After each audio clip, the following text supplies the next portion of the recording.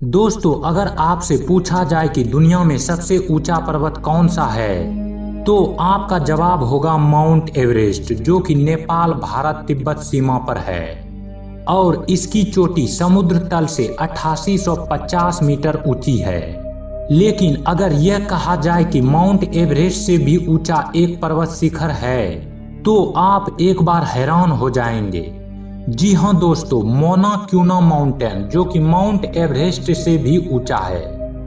दोस्तों, मोना क्यूना माउंटेन, संयुक्त राज्य अमेरिका के हवाई द्वीप के नज़दीक प्रशांत महासागर का एक हिस्सा है।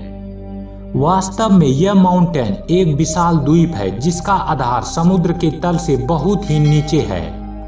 दोस्तों, मैं आपको बता दूँ कि समुद्र तल से मोना क्यूना की ऊंचाई 4205 मीटर है। जिससे यह एवरेस्ट से छोटा है। लेकिन यह मोना क्यूना माउंटेन की पूरी ऊंचाई नहीं है। संयुक्त राज्य अमेरिका के भू वैज्ञानिक सर्वेक्षण के अनुसार मोना क्यूना माउंटेन समुद्र तल से 6000 मीटर नीचे तक फैला हुआ है।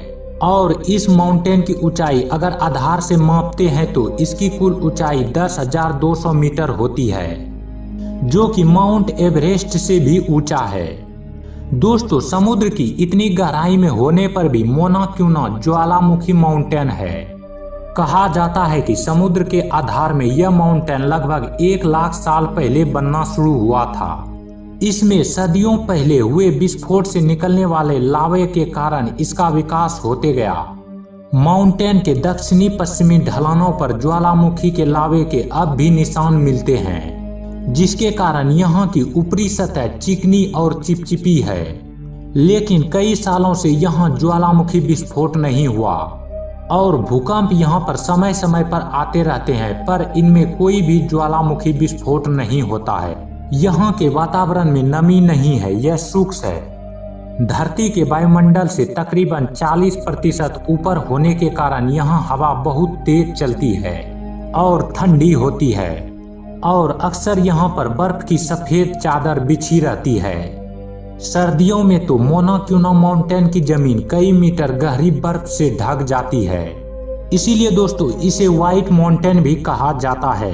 और दोस्तों, सबसे खास बात यह है कि इस माउंटेन को देखने के लिए दुनिया भर से लोग आते हैं। तो दोस्तों, आज के वीडियो में इतना ही। अगर आपको यह वीडियो अच्छा लगा हो तो कमेंट बॉक्स में ज़रूर बताएँ। और अब हम लोग मिलते हैं एक नए वीडियो में एक नए इंटरेस्टिंग टॉपिक के साथ।